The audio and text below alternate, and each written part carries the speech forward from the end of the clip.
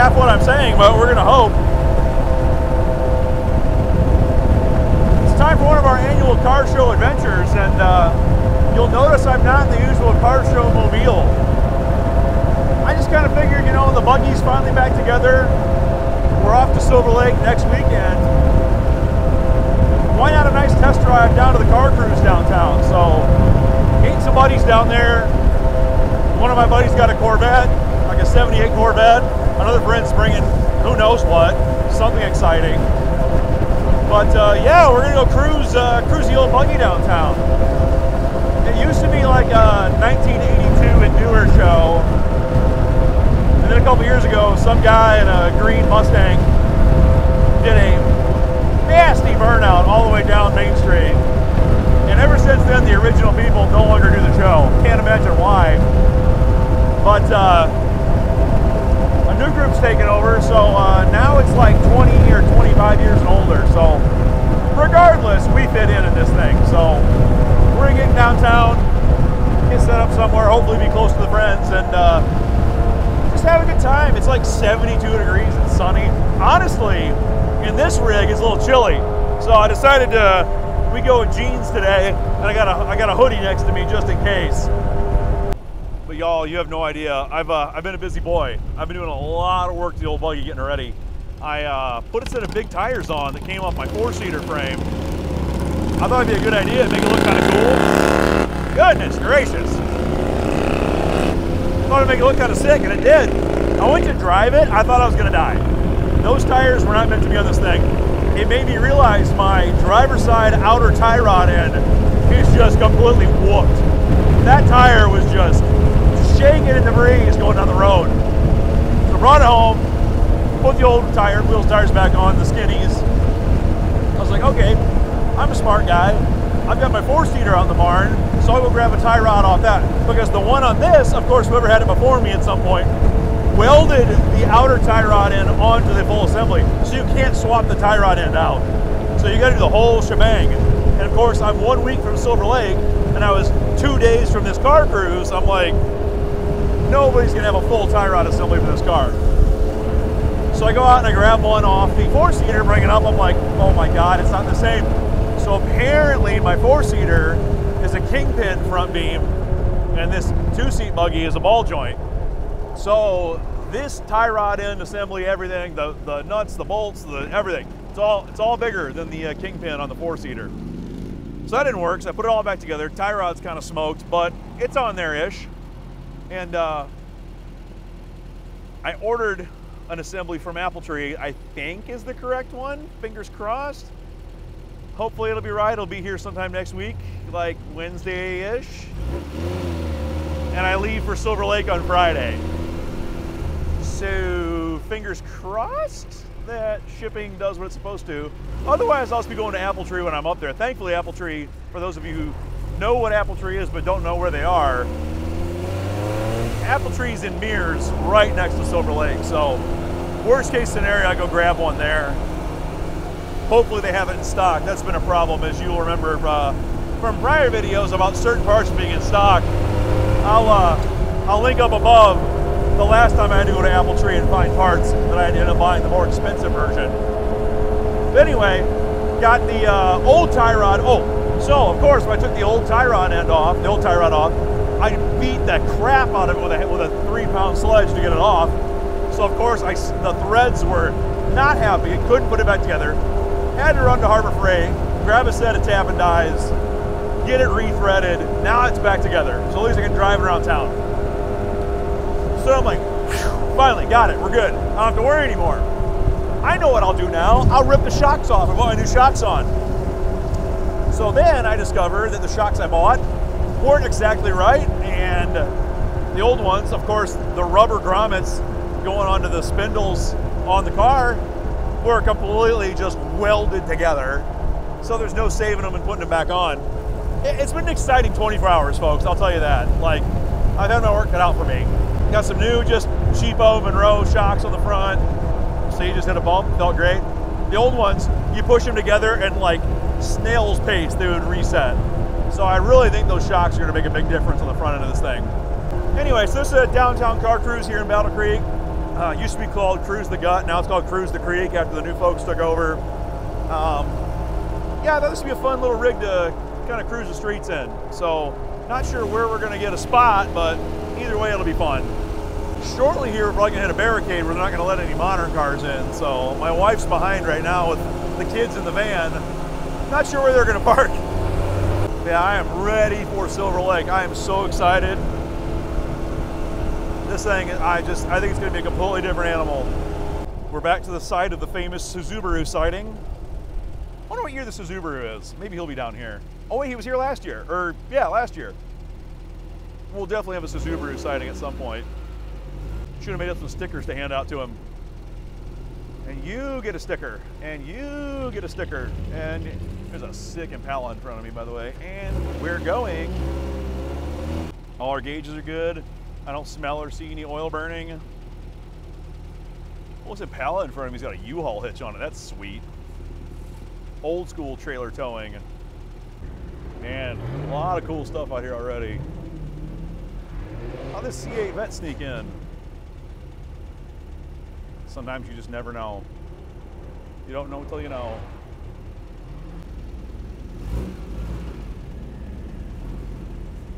Getting waves from the other buggies. That's how you know you're in the right spot.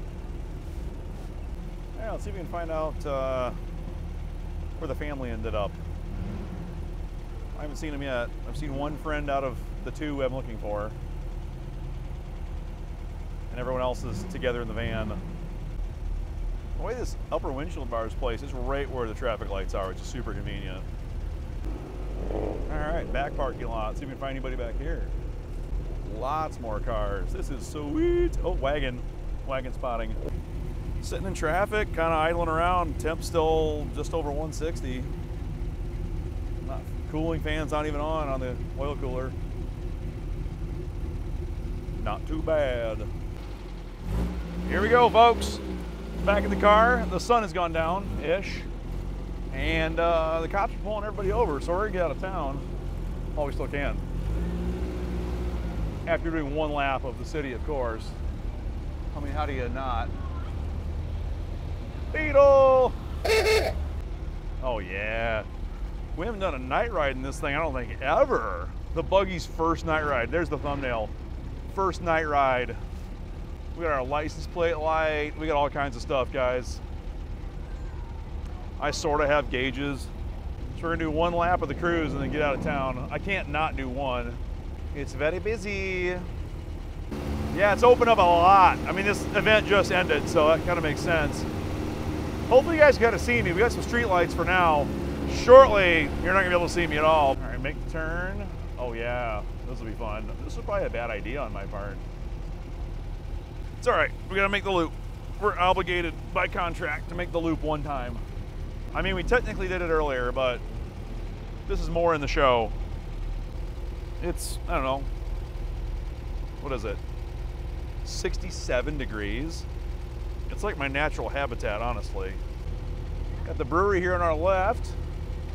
Would love to stop in for a quick pint, but you know, it's the most conspicuous vehicle and I'm wearing the most conspicuous shirt, so I figure it's a bad move. All you smell is just leaded 110 octane not out of this, of course. Not everything else, or a lot of it at least. It's been a weird show, because you know, like I said before, this thing used to be all pre-1982, so you had your usual classic cars. But now, like literally the Escalade next to me has a chandelier hanging behind the second row. I'm looking at it right now. I don't know if it's factory or what, but I, maybe I should get one right here. What do you guys think? Let me know in the comments. Do I need a chandelier? There's been some interesting rigs, is what I'll say. Oh, there was a guy in a Miata, slam Miata, white wheels, you know, crazy exhaust, getting up on the two-step, going on the street, popping, being way too loud. Freaked my son out, honestly. And uh, a couple minutes ago, I'll throw a picture up in the video, saw the dude getting pulled up onto a flatbed with the cops behind him. So couldn't happen to a nicer guy. I just don't get it. You know, I get that stuff's cool, but it's like, why do you have to be, you know, an idiot and ruin everybody's time with crap like that? It's just, you know, you're in like going down a city street, you got brick buildings on both sides, everything's just echoing. It's like, man, I guess it's kind of cool, but like, you got families and stuff. You're not at the racetrack or whatever. Maybe it's a controversial opinion. But yeah, we've seen all kinds of crazy stuff, you know, way more modern stuff. I saw a Lamborghini Urus running around, which I thought was very interesting for Battle Creek, Michigan. Uh, a couple C8s. Uh, what else did I see that was unique? I mean, old stuff that's super cool is more unique to me, but you know, a couple neat newer things. I saw some wagons. I saw this gold kind of gold, brown gold Blazer, K5 Blazer thing looked better than it did when it came off the, the, the assembly line, I'm sure. It was so clean, unbelievable. Biker!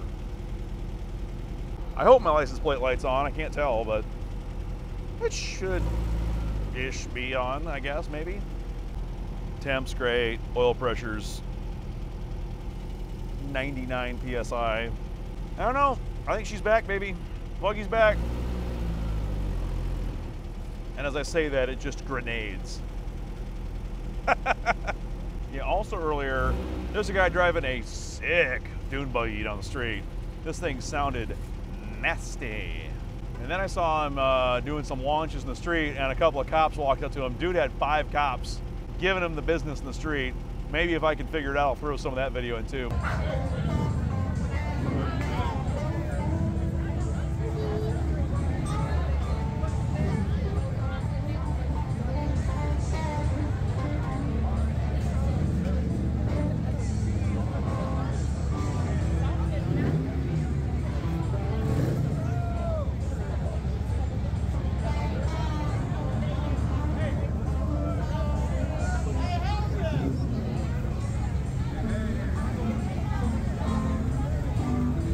Yeah, they uh, they were having him push it down the road. They literally had this guy out of his car, out of his buggy for a few minutes, talking to him in the middle of the road.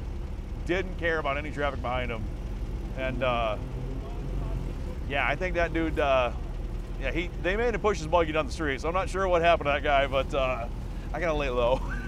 Buggies are public enemy number one right now. I mean, after Mustangs, of course. Oh, my turn signal's been on that entire time. That's embarrassing. You're having these brakes you think the motor's letting go. They're just shaking around. All right, main drag. Hey, gas it, bro.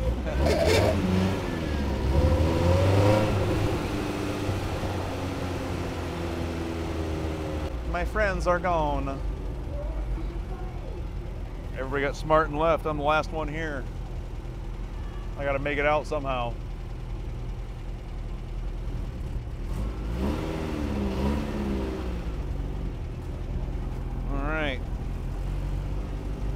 We go.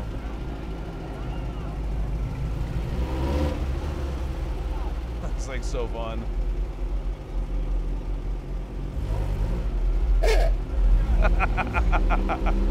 Dude's just looking at me. I'm like, beep beep. Rev next to cops. Good choice, my dude. All right, we are almost, well, not quite home free, but on our way to being home free.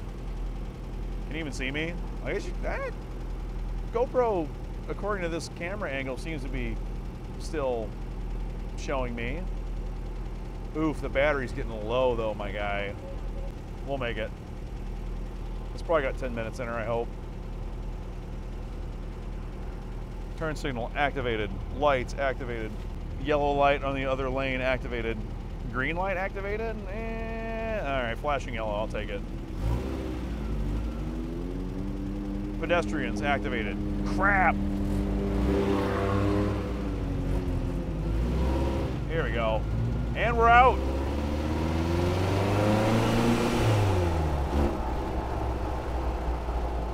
Let's get out of this mess. Oh my God, there's just cars everywhere. There's a Monte Carlo with Lamborghini doors on it. There's a Caprice just doing shit in front of me. Oh, this is where the interesting crowd is.